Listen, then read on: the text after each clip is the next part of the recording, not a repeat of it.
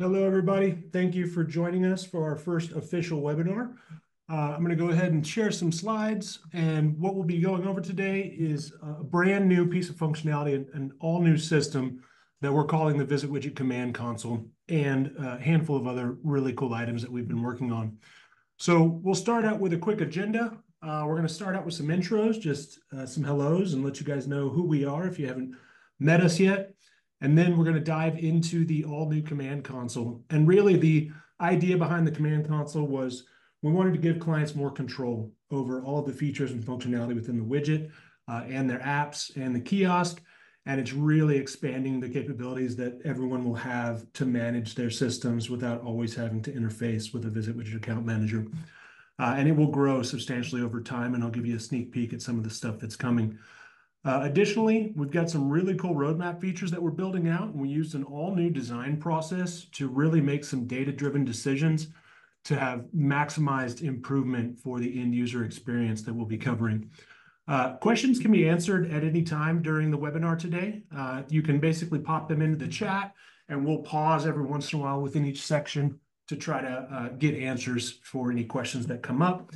And then lastly, we'll be covering uh, Nate, who's joining us today. We'll be covering uh, event calendar, um, basically automated event sourcing through his company OccasionGenius. And we've worked with him on numerous accounts and uh, really see a lot of benefit uh, derived from relying on the auto sourcing for events to keep the calendar populated.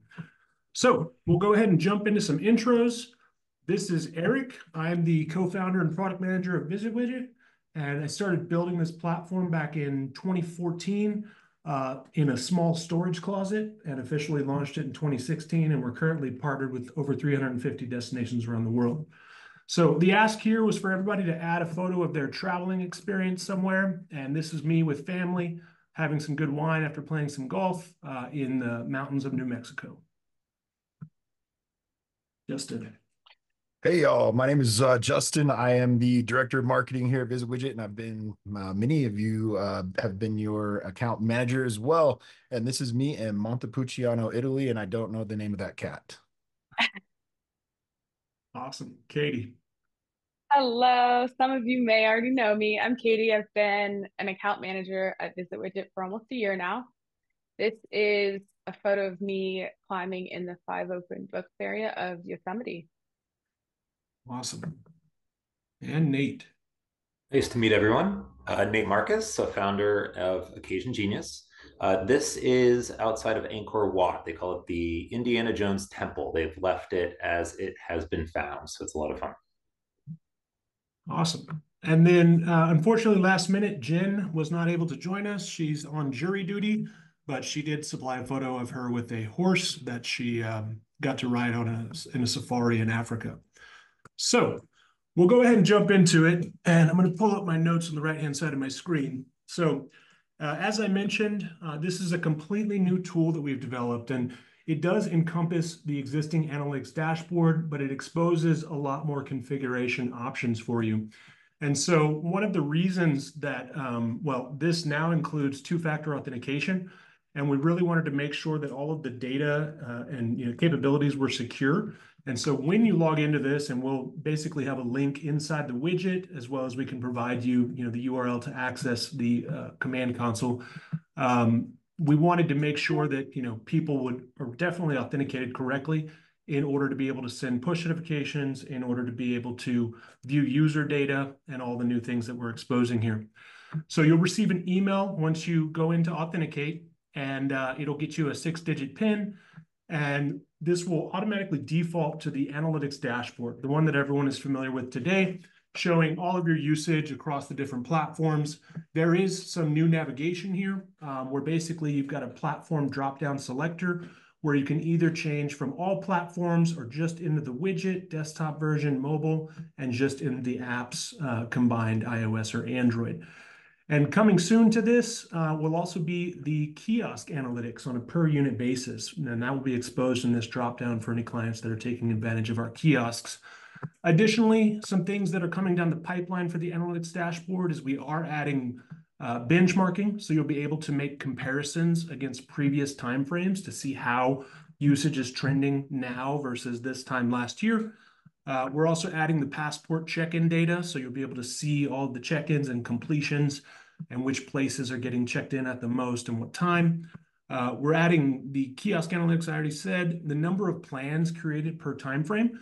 Should actually see how often plans are being created for your destination. We're adding the number of arrivals per time frame.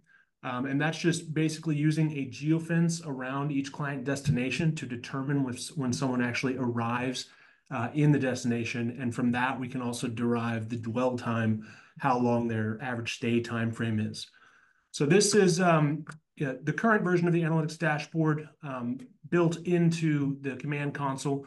And one thing to note is the date picker has moved to the right-hand side. You still have all the ability to view popular items, add unit performance, and of course, export any of your analytics to CSV format. So I'll pause there. Were there any questions in the chat on the analytics dashboard? And I believe you have to use the Q and A function, uh, which would be the second button over. It would be okay. So it's a it would be the MetroClick kiosks that show on the kiosk usage page.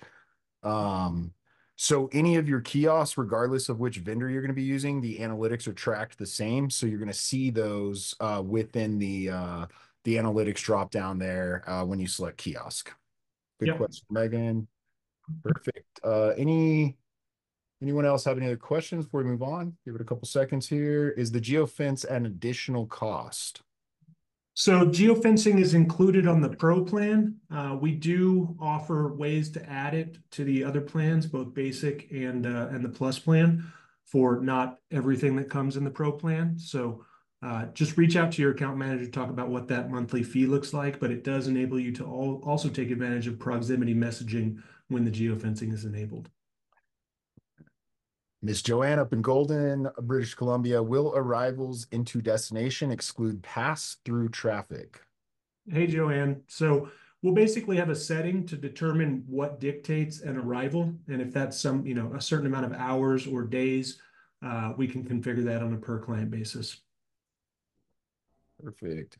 I'm not seeing any other questions come in, but we'll keep monitoring that just in case. Perfect. All right. So, Justin, take us through the content section. All righty. So the content section. So this obviously looks a lot different. You've seen the analytics dashboard before, even though there's a lot of new stuff to it. But the content section, this is totally different than what we've had before, and we're super excited about it. Um, our dev team has been hard at work along with our design team, and everybody's been working really hard to make sure you have a great experience here. So we'll kind of go through everything you can do. First thing I want Eric to do is go over to this side panel here in the maroon and you'll see all of your menu items. You can easily drag and drop the order of those menu items. Justin, why would I want to drag and drop the order of the menu items? Well, let's say you're running a new passport, right? You got a margarita trail, taco trail, shrimp passport, I don't know, whatever it is. And you want that to be the very first thing people see whenever they get onto the app.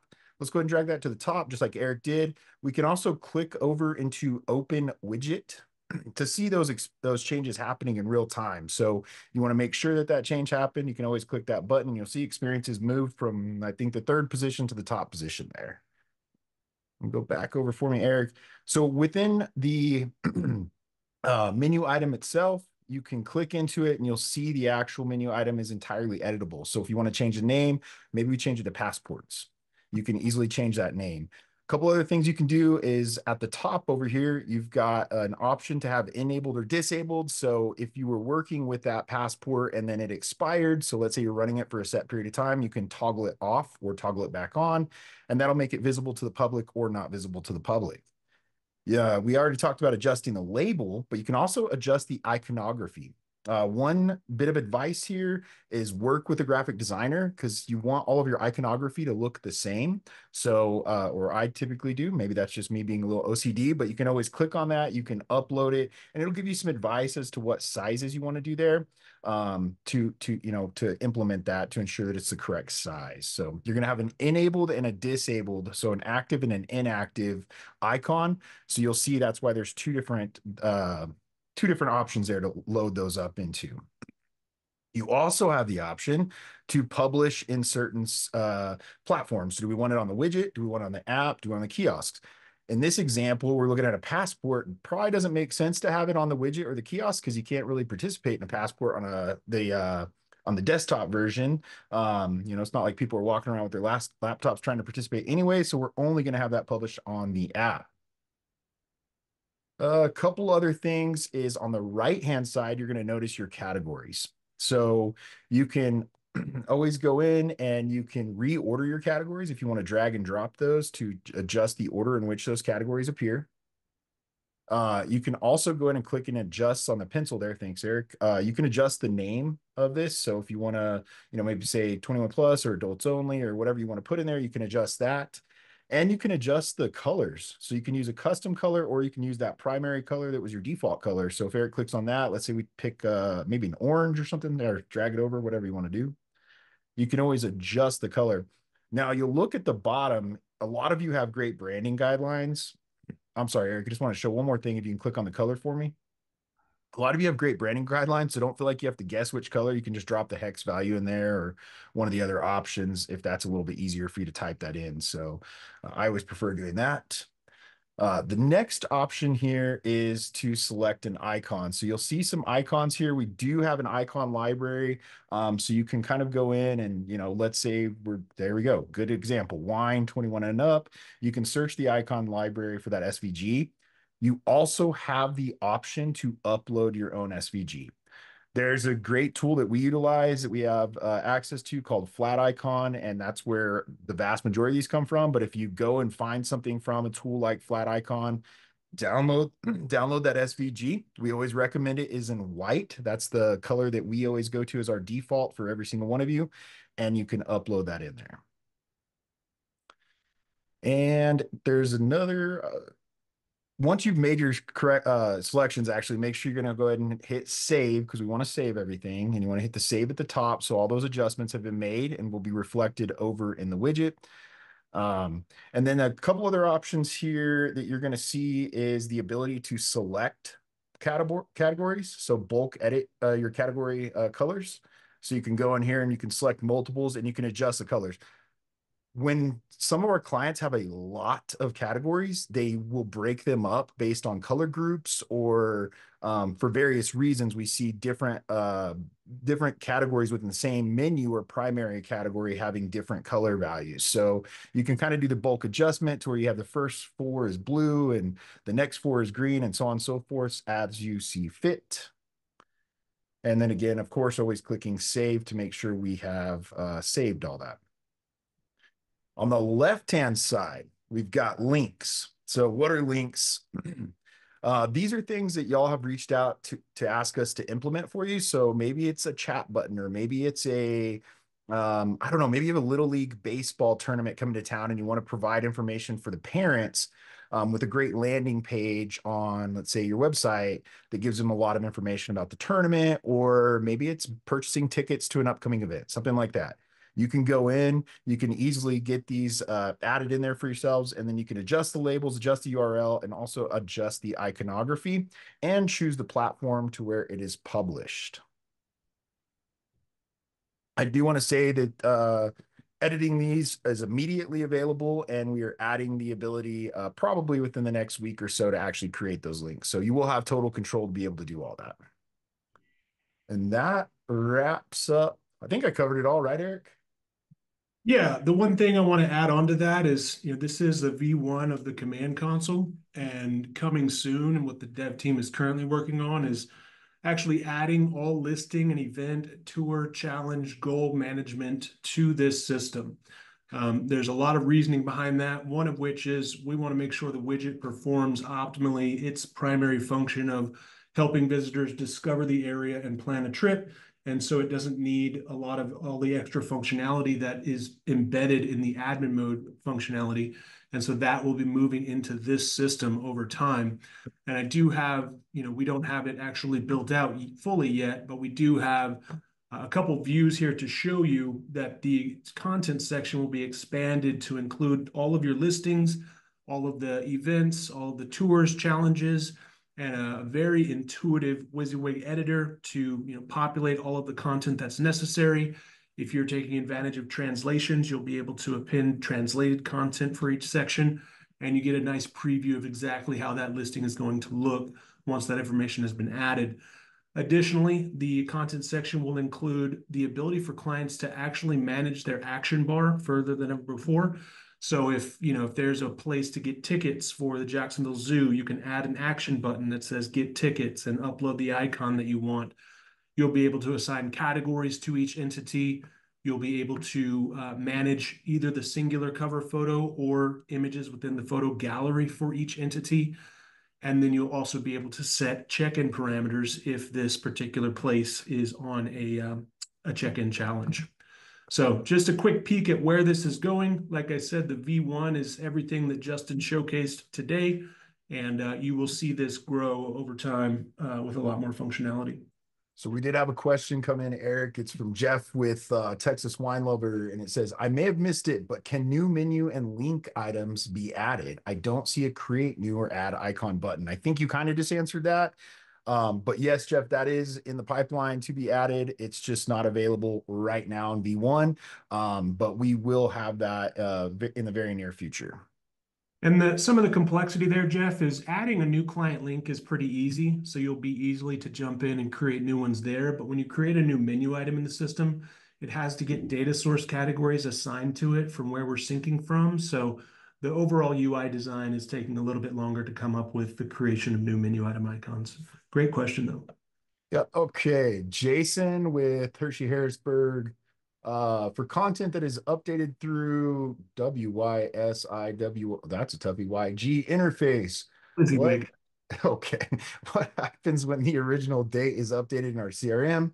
Is there an option to ignore or automatically pull in CRM updates? So what we have planned for uh, previously synced data is actually to display in the command console what items are being managed from the source and what parameters can still be modified in our system. So for example, you're seeing um, uh, this is a state in which the Jacksonville Zoo and Gardens was pulled in via the sync. And so you really want to go back to the source to update the title of that item, the description, and the address.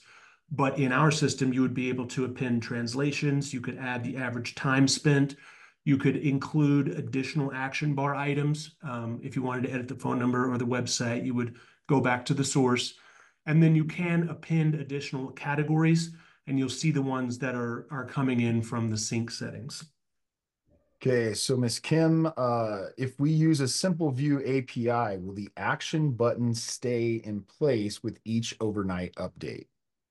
Correct. Yeah. In some cases, if you've got a, if we're using Simpleview CRM, there are already additional URLs that we're syncing in, like if an accommodation has a booking URL. But if you don't have those, um, and let's say you wanted to add one here, you'll see the buttons that are synced in coming from the data source, not in a non-editable format. And then you can go and add an additional button that will, will persist even if the sync runs once or a thousand times. Yep. And um, and that's a, a good question. I think one of the reasons why you asked us, we always say don't make changes to listings um, because the we do consider your CRM or website the source of truth. And while that is true, that's that's really just very particular stuff like the descriptions, phone numbers, stuff like that, um, where we're syncing that in from CRM. So um, any of these additional items and stuff are, are entirely editable within the platform, and they will persist and maintain. Right. Good questions. We'll go ahead and move on to the messaging section. So gone are the days of having to keep up with OneSignal's uh, updates where we have to keep retraining everyone on how to use a new UI they've come out with. So basically, OneSignal's not going away. You'll still have all of your messages there, and we're just using the OneSignal API to allow you to create and modify messages in our system, and then they're delivered to OneSignal to be distributed to users. So what you're seeing here within the, the messaging section is basically I've got a couple delivered messages so I can see when these went out. One thing that's coming soon is the actual analytics. So the amount of click-throughs and impressions and deliveries for each of the messages that you've sent in the past. And then you've got a, a scheduled tab. So any of the messages that you have upcoming. And you'll notice on, on any of these, when I'm under scheduled, I can click the three dots. You've got the option to edit a scheduled message. You can duplicate it and then modify the contents, or you can delete it if the event was canceled. If you go to delivered and you select one of these, it's basically just going to give you the option to duplicate it because those messages were already sent out. And if you click into one, you do see the full contents of the message and everything that was configured. But let's go ahead and start from scratch and create a new message. And you'll see here um, some pretty similar fields, but a much more simplistic UI than what uh, what you typically see in the OneSignal interface. So you'll go ahead and want to uh, pop in a title for your message, the body content for your message, and as always, we do recommend using fun emojis because um, you know it's better than a, a news alert coming out when you're telling people about something great that's happening this weekend. And so the emoji selector is embedded in each of these fields and has a ton of different options for you to choose from uh, right in line in the system. Now, where are we gonna, what's the action we're gonna take when someone sends out this message? Well, you've got a handful of options now. Uh, you no longer have to go to uh, the admin mode of the widget to look for the ID associated with that place, event, or tour. You can simply select Deep Link in App, and then you can go ahead and just search. It's got a type ahead search functionality for the entity that you want to link to. And when you do that, it pulls up your options. The events do include the event date. So if it's a recurring event, you can select the correct occurrence. And then at this point, um, you can specify if you want this to, to stay in the inbox, the notification inbox for that user for a day, for an hour, for a minute, um, or multiple minutes. And that's just going to dictate how long that message lives in the notifications inbox. And then lastly, you've got the option here to uh, either send this message out immediately or you can schedule it to go out at a specific time. So this event that's happening on the 25th, uh, I'm going to go ahead and just set this up to go out at 10 a.m. on the 25th so we can um, make sure everybody gets out there and, and gets their tickets. Now, there's a couple different action options here. So one of them is deep linking in the app. It will launch the app and take them straight to the, that view for the event that we just selected. You've also got the option to deep link to one of your menu items. So if this, if the contents of this message were check out all the great events happening this weekend, then I can just select the events menu item. And when people launch the app, it'll take them straight to the upcoming events as the default view.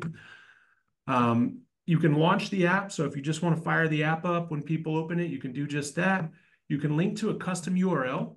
So if this uh, particular event was ticketed, which it is, I can just pop in the ticketing URL and that's going to open up a web view inside the app when people swipe the message, taking them to the, the ticket purchase page. And then lastly, uh, if you have a message that's over 140 characters, um, as everyone knows, these messages do start to truncate on the home screen of the app. But if you've got a, a pretty large message and you want people to be able to read all of it right when they swipe that, you can select open the notifications inbox. That will launch the app and open, open the notifications inbox with the full contents of the message in view at that time. Um, and then once you've got a bunch of, of messages created, um, you know, you'll definitely want to schedule these. I, I think I hit the X. Uh, you can always come back and search for previous messages and of course duplicate them as needed. So that is the, the new messaging functionality and we'll pause for question. Yeah, I've got a question here from Joe Duran. Um, will you be able to send push uh, notification tests like you can to on OneSignal? Yes, so some of the stuff that's coming soon on the push messaging tab of the command console is the analytics for past messages and ones you've just sent.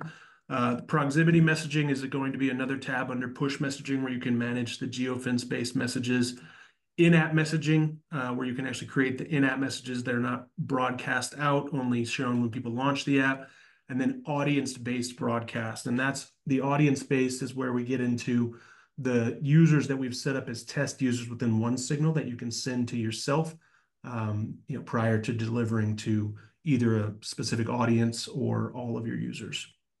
Thanks, Joe from Moco. I appreciate that. All right.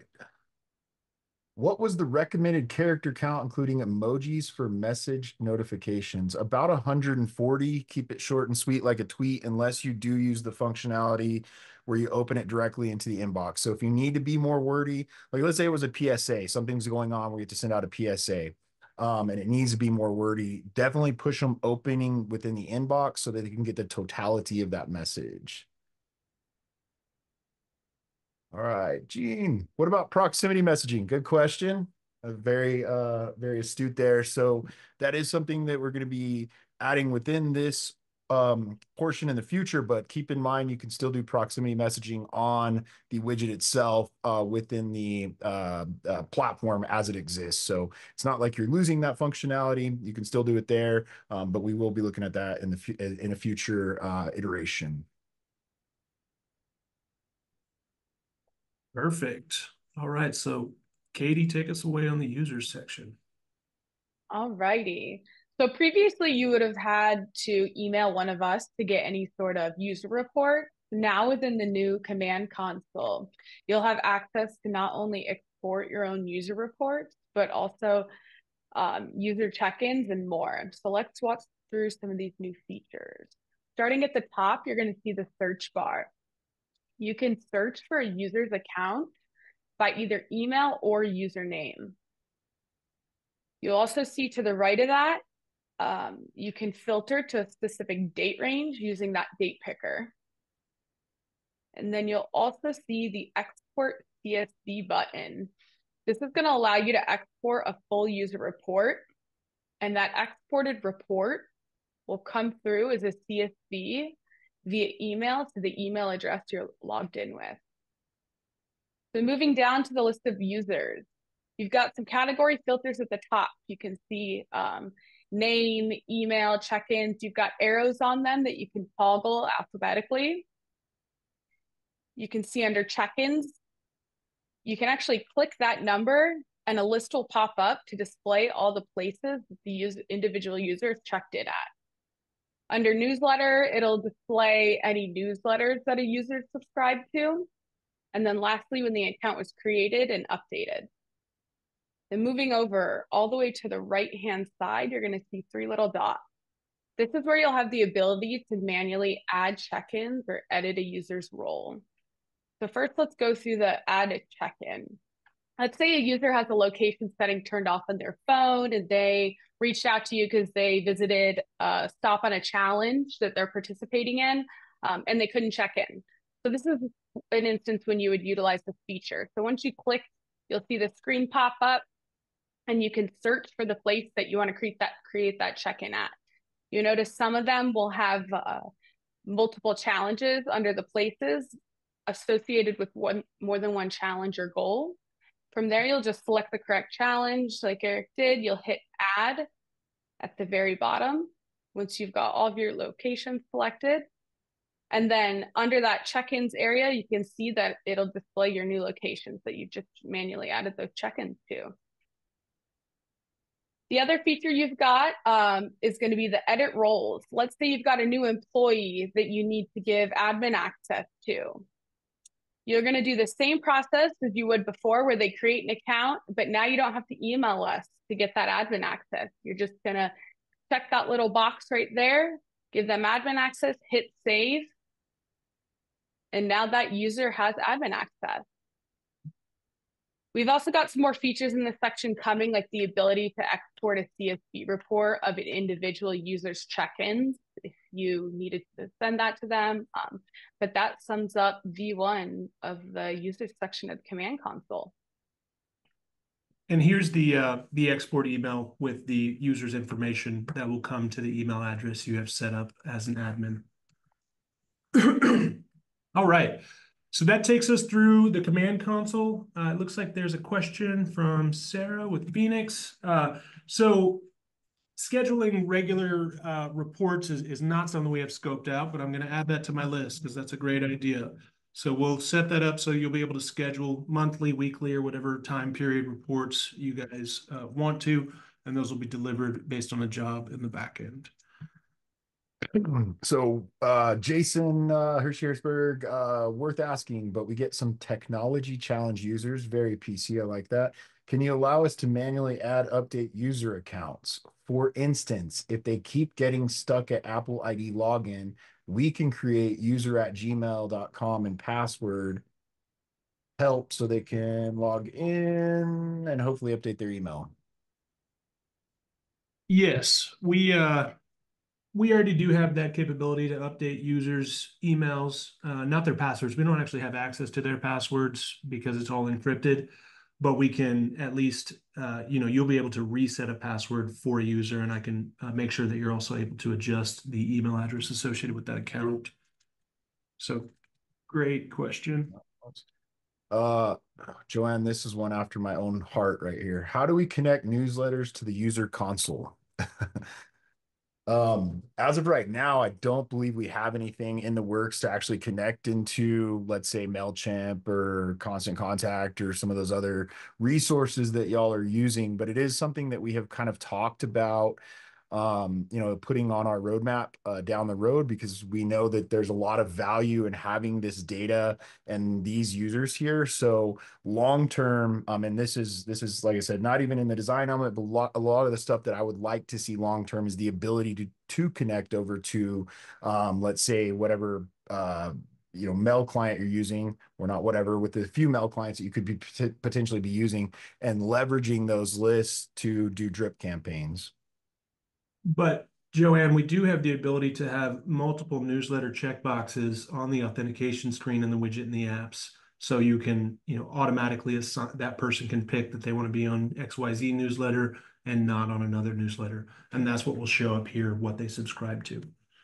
So we can help you get that set up. And then Susan, uh, it, this is this is not fully live currently. The official launch date is November 1st. Friday of next week, and uh, there's a couple more bells and whistles that are being added before it launches. Uh, but you guys, everybody will have access and get we'll notify the in, entire uh, portfolio of clients on the first when it's live and ready. Okay, so that gets us through the command console and at least its initial version. Um, so now I want to talk a little bit about a major redesign that's uh, under being undergone for the widget. So basically, um, you know, we've always heavily invested in the platform and wanted to ensure that we were ahead of all of our competitors and always had the most interactive visit planning tool in the market. And uh, recently, we started planning out a refactor and redesign of the widget. But as part of that process, we took um, a different approach on the design phase. We actually initiated user testing with over 30 different people that had never experienced the widget before and we did think aloud studies with each of them, where basically we provided them with the widget interface and asked them what they thought it was, what they thought the intended intended use of it was, what were its objectives and what would it help them do, and had them kind of just explain what they felt and what they were attracted to and drawn to as they navigated the system. We got a lot of really interesting feedback, and uh, it, it basically has led us down a path of uh, hyper focus on plan creation. So I'm going to show you some of the resulting uh, screens in a prototype of this new flow. And this will not be plan-based. This will be coming out for everybody. But basically, when you first launch the widget, you know, each client instance will, will maintain its branding and will work with anybody that we need to if we need variations of your existing logos that will fit. But you're immediately presented with this initial screen talking about planning your trip to your destination. The menu items will be shown here so people get an idea of what all is included. And then we're prominently placing a create plan button that when you click, it's going to take you to a create plan modal. You can name your plan and you can optionally add dates for your plan, either a number of days or the specific dates that you're traveling. And once you create your plan, we're hitting them with one last view just to emphasize the add button that's present throughout the widget. And what you'll see here is some really major um, improvements to the overall interface. So first of all, the menu item icons are presented in a scrollable horizontal bar. So we're no longer going to be restricted to that tiny little space and squeezing in a bunch of menu item icons, uh, as we've seen with a lot of clients that really want granular navigation capabilities within the widget and the apps. Uh, you'll also notice that there's a more section here, and that's where you're going to be able to publish your client links, whether it's a chatbot or a weather information or a newsletter sign up directly in line in the widget. And those will open up inside a modal to whatever web view is specified. Now, if I start going through um, the list view here, you'll notice a couple of things are changing. The title of each of the items is no longer placed over the image, and that's a great improvement for both ADA compliance and WCAG just having black text on a white background for extreme legibility. Um, you'll also notice that the add button is being placed in a much more prominent location, the top right. Uh, so it stands out more and people get the idea that they're adding stuff to their plan. The image gallery is coming to the widget as part of this redesign. So you'll both have admin mode functionality in the command console to add images manually, or if you have your data source set up with multiple image URLs, we'll be syncing those in. And those will auto rotate through the images. And then lastly, um, you know, if I go to add something to my plan, what happens is we're showing a, a plan tooltip that basically uh, pulls up and shows you your plan items. And we're also prompting people to add your stay. So one of the primary areas of feedback that we received from our user testing was people wanted to find out where they were staying and then look for attractions and things to do within a certain proximity of their accommodation. And so you can now select find or add your stay. You'll be able to search through all the accommodations that we've synced from your data source or that are in your instance, um, or someone can drop a pin on the map. So if I select to drop a pin, that's going to let me place my stay. I can save it and keep exploring. And at that point, the next big piece of user feedback we got is that idea of honing in on a particular area. So this will be on a per client basis, what we decide for the default uh, boundary, the, the radius of that area, but it is draggable by end users. So I could drag my radius to 10 miles or to two miles or whatever's, you know, the amount of distance that I want to travel from my hotel or accommodations to another location. And what that's going to do is dictate the sort of the listings per menu item, showing me all of the prioritized items in a random order that are within that boundary first, followed by non-prioritized items within that boundary, then followed by prioritized items outside of that boundary, followed by non-priority items outside of that boundary. So really just allowing people to see, you know, where what are the restaurants, what are the bars mm-hmm. near my accommodations, where are the best zoo, you know, the, the best gardens and parks, um, so they can really hone in on how far they want to travel uh, during their trip. And then also, um, you'll notice on these listings here, if I reset this, a couple other improvements. Create a plan. The uh, entity views are no longer going to be side by side, where you always have uh, basically a duplicate cover photo side by side. And we're trying to maximize map space because that's what all of the users in our testing rounds uh, were really drawn to was the map interface. The overall entity detail views are being modernized substantially to match more of that in that you're seeing in the apps currently. And then if uh, if you also notice the filters are being moved to be right in line with the list because we didn't want people to have to make the round trip from clicking on filters along the right hand side for their interest categories and then coming back to view the listings and back and forth. So this will just be a modal with the categories displayed right there and the changes can be made right in line. We're also adding sort to the widget uh, listings. So the recommended sort is a combination of priority items and randomization and then non-priority items with randomization. But we'll also add the ability to have to sort nearby based on the menu item that I'm in and the categories I've selected, and then A to Z as well, just mirroring what you're currently seeing in the apps. So this is a, a major um, you know, redesign that's also taking into account the concept of creating multiple plans. So we want people to be able to create more than a single plan and what you'll notice here is the My Plans tab is now going to be uh, set up in such a way that if someone goes on that trip, they can come back here later and create another trip for the next year when they want to go have a great time again in the same destination. So that is um, a quick sneak peek of what's coming down the, the roadmap for um, the widget interface. Are there any questions? Looks like Jeff has one. Yeah, it just says the new look of the widget, loves it. Uh, multiple plans, great. Does the filter have check boxes for multiple selection? That's a good question. So what we found was the, the more modern filtering functionality isn't to have all of the filters selected and then people have to deselect all and then select one to get to that. So we're minimizing clicks here where we'll have the listings showing up based on the categories that are enabled or disabled by default. But then when I actually select arts and culture or nightlife, it's going to automatically update the list with just arts and culture. If I selected two, it'll update the list with arts and culture and nightlife combined. So it minimizes one of the clicks for people to get to the filtered content they're looking for. When do you anticipate the new version of the widget uh, to go live? So I'm pushing on our dev team pretty hard. Um, I'm hopeful this is by end of the year, but I, I do think there's a chance it'll be in early Q1. Thanks.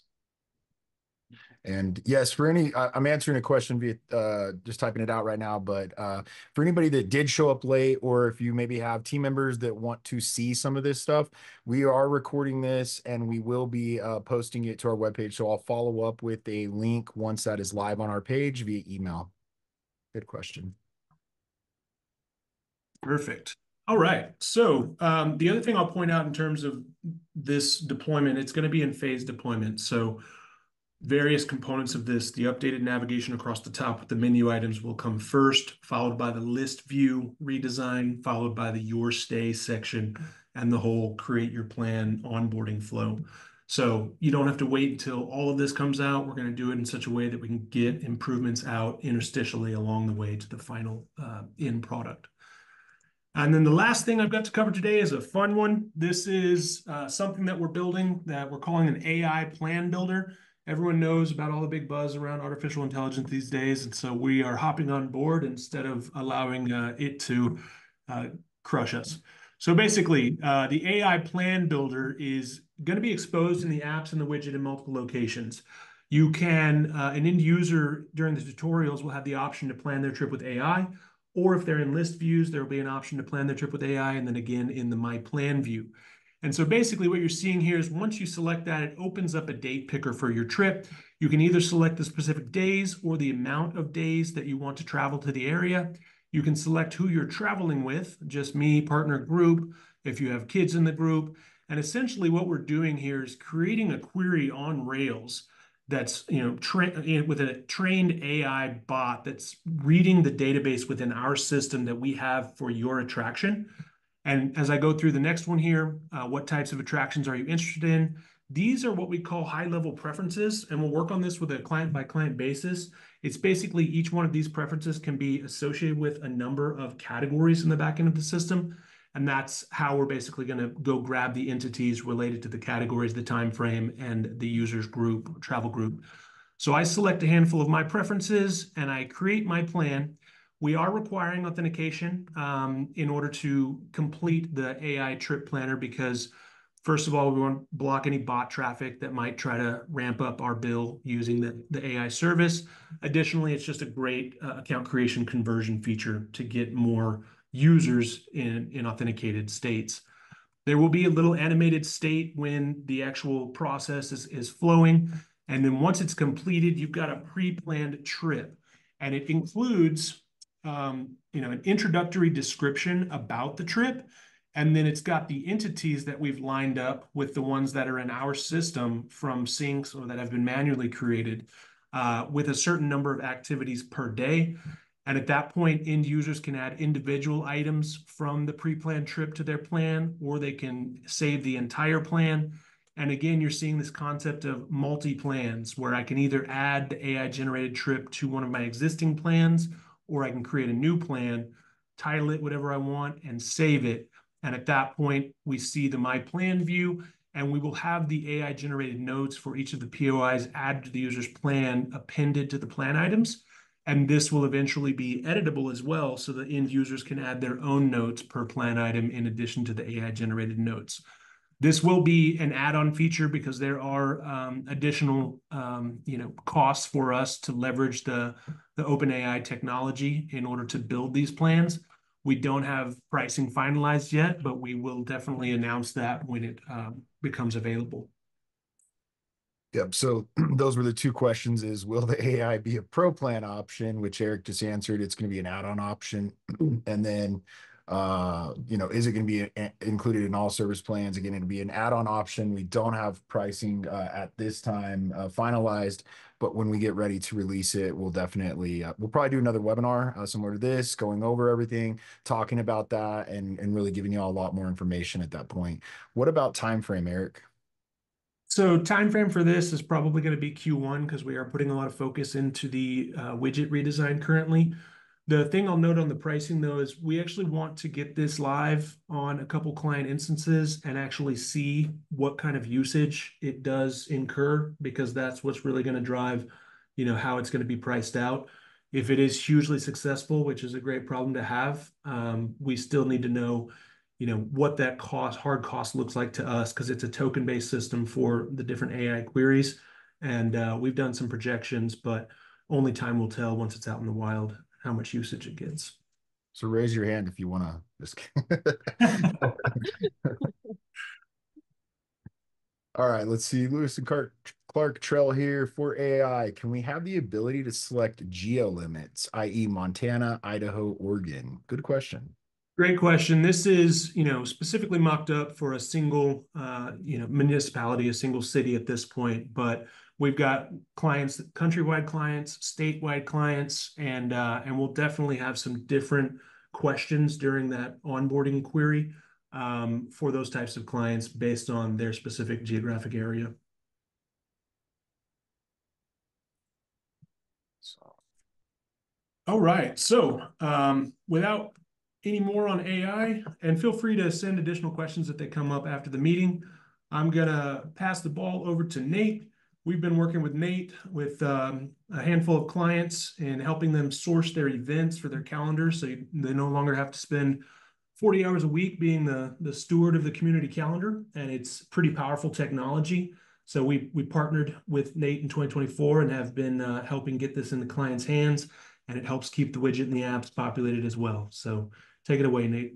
Thank you. Thank you very much, Eric. Uh, so yeah, I know a lot of you may be struggling with your event calendars and wishing that you had a team of people to basically be an extension of your own team and take this away. Um, so excited to walk you through how you can leverage this new partnership between OccasionGenius and Visit Widget and offload the work you do on your calendars, free up a lot of time. Um, so don't have to tell you too much about why events are important. People are prioritizing these local experiences, travelers and locals alike. FOMO, fear missing out, we like to say, is very real, but it's so hard to keep track of all the upcoming events. And uh, we hear this over and over from DMOs trying to put their calendar together and routinely keep up with it. Uh, just events are hard. So uh, the first problem is how do you know that the event's happening? You have to be searching for it. But then here are four other uh, considerations that uh, you, you might have felt the pain of. Uh, event organizers who post their events online don't understand uh, commercial copyright often for the images that they're posting. So since their images aren't copyright compliant, it's not okay to just take that image and put it onto your site. Event descriptions that organizers write are often all over the place. So they can be in all caps, or there's no description, or it'll say, join us, we'll be at. And that's very confusing for the DMO's brand. So it means you have to rewrite a lot of these descriptions. And then there's a lot of events that are just junk events, 20% off Invisalign at a dentist office somebody needs to go through every event that's submitted or that's out there and identify the ones that are really leisure events open to the public. Um, then there are events that might be inappropriate. Is an event at a strip club, a gun expo? Okay, so you have to uh, be uh, looking at every event. And then the hardest part here for a human to do is events are dynamic. They get sold out, they're postponed, they're canceled. It's really poor user experience if you don't have somebody clicking on every link trying to find out if anything's changed to have old static links on your calendar, um, and calendars become stale pretty quickly. So if all this sounds familiar, then you're not alone. These challenges are really just too much for a lot of um, people's calendar upkeep. So they end up with calendars that look a bit like these. They have no descriptions or really long unstandardized descriptions. They have no photos or sometimes photos, irregular photos. Uh, it minimizes engagement. Um, so that's why we created OccasionGenius uh, right before the pandemic. Uh, and before working with Visit Widget, we've been working with dating apps, with tenant engagement portals, with marketing companies, as well as several large travel brands and hotels. So this is showing you, for example, Margaritaville Resorts, where our work presents itself uh, is a beautiful calendar inside of their booking engine that invites people to book their trip and stay an extra day. And so our secret sauce that we bring is we actually combine our technology with a crack expert US based human editorial curation team that looks and enhances every event. And in fact, this is all that our company, OccasionGenius, does. Uh, we call ourselves an innovation and personalized event discovery tech. And we provide this power to events, to airlines, corporate and leisure providers, TMCs, hotel brands, and now through our partnership with Visit Widget to DMOs. So the way that our partnership works is OccasionGenius uh, is contracted to provide the events. And then Visit Widget is the one that takes our data and seamlessly integrates it into your own event calendars. So you get to work out with Visit Widget how the data will look in your environment. Ultimately, you have full control over that look and that feel by working with them directly. So here's how it works. First, you sign a contract that tells us what event parameters you have. So if you're a city, if you're a region, or if you're a state or something else, an association of distilleries. And you collaborate with us by providing us information about the venues that you want us to look at, the types of events that you'd like to have and also to avoid. Then our team hops in and aggregates those events. Those events. We use technology like integrations with ticketing companies like Eventbrite and uh, legal safe scraping with aggregators like Facebook events. And then we do manual sourcing from venues and websites. So really all the possible ways to find events, we're agnostic to where the event comes from. Then our editorial team adds a unique high quality image with uh, full indemnification for all copyright issues. And we add them for every single event. And we'll actually write a, our own standardized and informative description using the third person uh, according to the Chicago Manual of Style Guidelines. So there's no confusion as to who's doing the talking and everything works together. Then lastly, our technology is constantly keeping track of events from their source pages. So making sure that we're tracking anything if it's canceled, postponed, sold out. And your calendar actually will update every day. So we're so excited that we've kicked off this partnership this year. We've already been working with Visit Widget in 2024, long line of their clients that have expressed interest. Pricing starts at $300 per month. Uh, but please email Visit Widget to run a pricing analysis for you. So that will depend on the market, um, the quantity of events that you need or can expect, and if any special integrations might be needed on your end. Um, so with that, we'd love to take any questions that you have if you have any.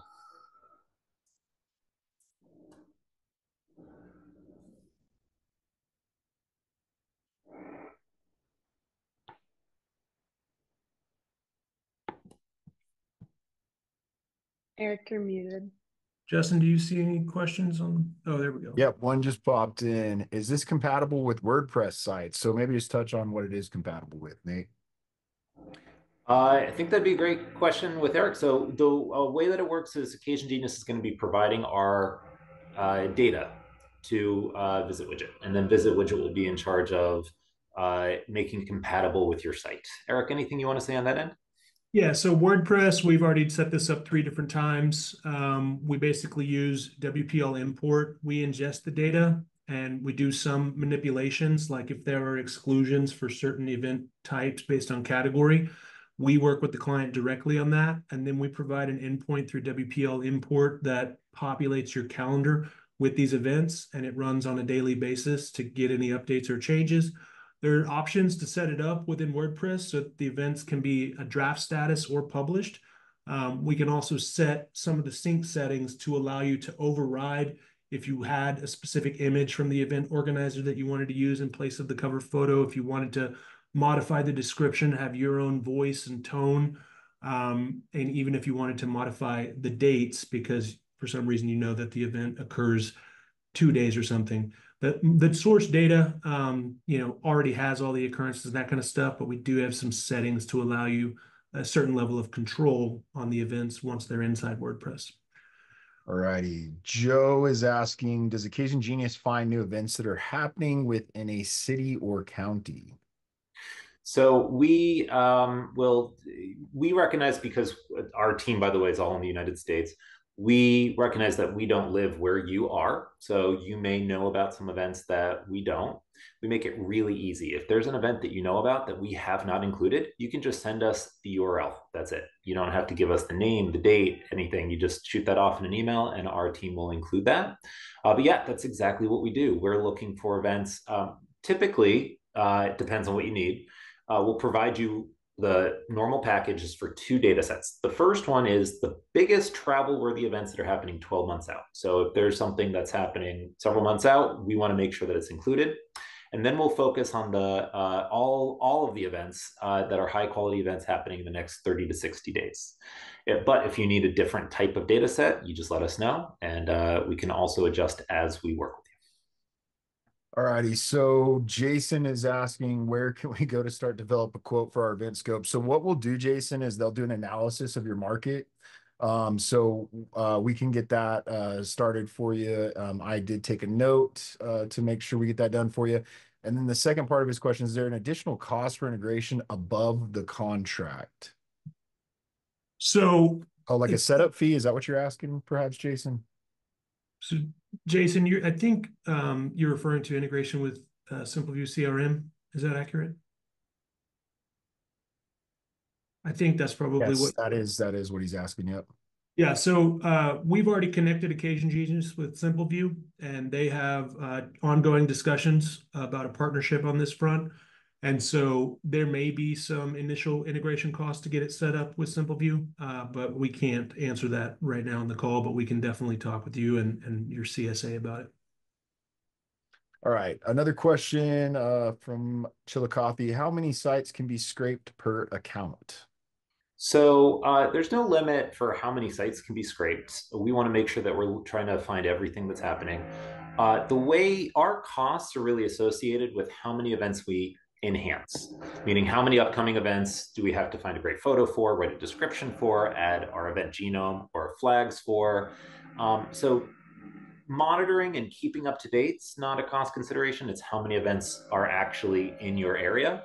For events that, for markets that have a lot of events going on, but only have a budget for a certain amount, what we can do is give you a best events uh, data set, which is our team will look at all the events happening and only enhance the ones that we think are the best, the most eyebrow raising, the most engaging, and the most exciting. So we really have a lot of flexibility in terms of how we work with you based on your budget. Perfect. Uh, couple of clients uh, that we have live now that they can uh, take a peek at. Uh, we're just rolling out with Visit Widget, and uh, so uh, maybe Eric, you can send them some follow-ups um, and Yeah. some links. We'll also provide Visit Widget with a couple links where you can see our data in action as well, outside of the Visit Widget uh, integrations. But we will send some, some, some of the clients that are live currently, their event calendars in the, uh, the follow-up with the recording. One quick note on that, um, because you will still have the ability to add your own events, you may see some pictures there uh, or descriptions that don't represent OccasionGenius's product or work, just because it was added by the um, uh, uh, by the uh, uh, DMO itself. So uh, keep that in mind. We'll try to we'll try to give Visit Widget a couple of things for you to look at so that you can understand the type of quality that we're providing. So this is uh, Kevin Campbell out of Indian Lakes, Ohio. Uh, can I sign up for a partic for particular months since we are a seasonal area? That's a new one, but would love to work something out with you guys. Um, I, that should be doable. Yeah, just reach out to me, Kevin, and we can talk about that. Uh, anonymous attendee. How does this compare to ITI digital events calendar? So a lot of uh, Visit Widgets clients who have been using ITA, ITI have reached out to us to make a change. What we've been hearing in terms of feedback is that ITI was exclusively Facebook uh, events. So they were missing a lot of events that were not on Facebook. Uh, and they also weren't providing all of the events that were available on Facebook. So, for example, one of the DMOs shared with us that for Martin Luther King uh, Jr. weekend, they had no Martin Luther King Day events, and that reflected really poorly on the on the DMO itself.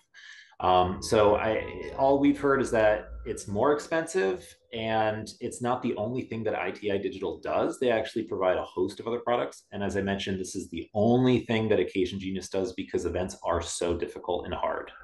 Um, we've actually raised several million dollars just to do this one particular thing. And so I think that's the big difference is that we're really the experts in a premium event data set, whereas other companies might be offering something that they feel would be good enough. But the feedback we've gotten is good enough is not good enough for the DMOs. Yeah, and then Thomas uh, with Southern Arizona Attractions Alliance sounds like an opportunity to develop a master calendar for all in our region. I mean, the great things about OccasionGenius is they will, you know, scour all of the events in your region and really find anything that you think is meaningful and beneficial to be added to your events calendar. So you've got a lot of control to really pull in um, what it is that you know fits your audience's needs and uh, work closely with the OG team to ensure that those are being met and delivered. All right, guys, we have about three minutes left. Um, if there's any other questions, we'd be happy to answer them um, in the next couple minutes, and we'll just hang tight and kind of keep our eyes up here. we do want to say thank you so much for attending. Uh, it's it's been um, um, you know something we've been excited about wanting to show everybody, and so we're excited on November first to get this live for everybody, um, and then continuing our hard work. The development team in the background that you don't ever get to see their faces, they're uh, you know really excited as well to get these products out to you. It's stuff that they've been working very very hard on, spending tons of hours on, and uh, we just want you to know we're continuously delivering for you every single time, even though you don't see it all the time. This is the stuff that we're working on to make sure our product is developed through the years to get better and better to service your needs, provide better analytics for you, provide better support for you, and make a better experience for your visitors while they're in market. And based on the amount of participation on this webinar, we will be doing these more often uh, to keep everybody updated with all the great stuff that we're working on. Yep. Awesome. I'm not seeing anything else coming in. Thanks, Joe. Appreciate you attending. All right. Awesome, folks. Well, I hope you have a beautiful day. Enjoy the rest of your day. Thank you so much for attending. Have a good one. Thank you. Thank you.